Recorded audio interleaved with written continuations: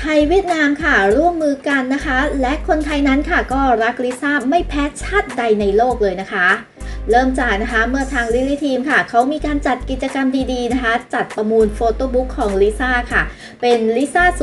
0327 นะคะเวอร์ชั่นที่ 1 ค่ะ พร้อมกับลายเซ็นด้วยนะคะ ที่เห็นว่าเล่มนี้ค่ะ ส่งตรงนะคะมาจากเวียดนามกันเลยทีเดียวค่ะ โดยเปิดประมูลนะคะไปด้วยราคาเริ่มต้นที่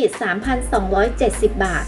ว้าว เลขก็สวยซะด้วยนะคะ คืออันนี้ค่ะ แอดก็รู้มาจาก Blink Inter อีกทีหนึ่งนะคะ ก็ปกตินะคะ ก็ไม่ค่อยเล่น Twitter หรอกค่ะ ข่าวดีก็เลยอาจจะช้าไปสักหน่อยนะ แต่ถือว่าเป็นเรื่องราวดีๆนะคะ ที่เขากำลังพูดถึงกันค่ะ เพราะว่าทีมของคนไทยนั้นนะคะ ก็รักลิซ่าไม่แพ้ชาติใดเลยค่ะ ดูจากบรรยากาศนะคะ ที่ตอนที่มีการบิดกันเนี่ยก็ต้องบอกว่าคึกคักหนักมากเลยนะคะ เพราะว่าจากหลักพันค่ะ ไล่ไปเป็นหลักหมื่นนะคะ ซึ่งสุดท้ายไปจบกันที่หลักแสนกันเลยทีเดียวค่ะ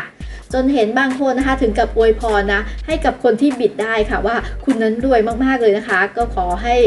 มงคลทั้ง 8 ทิศนะ จงมาเป็นกำแพงเกาะแก้ว 7 ชั้นนะคะมาป้องกันมาคุ้มครองค่ะ คนที่ได้โฟโต้บุ๊กเล่มนี้ไปเลยอะค่ะ ซึ่งเมื่อคืนนะคะโฟโต้บุ๊กเล่มนี้ของน้องลิซ่าค่ะ ก็ปิดจบไปที่นะคะ ราคาอยู่ที่ 132,700 บาทค่ะ ซึ่งเงินตรงนี้นะคะทางลิลี่ทีมค่ะเขาจะรวบรวมนะคะ แล้วก็เอาไป support solo ของลิซ่านะที่กำลังจะมานั่นเองนะคะ ซึ่งก็ถือได้ว่านะคะเป็น moment ดีๆค่ะที่เกิดขึ้นนะคะ ทั้งคนทำกิจกรรมแล้วก็คนรับ photobook ไปนะ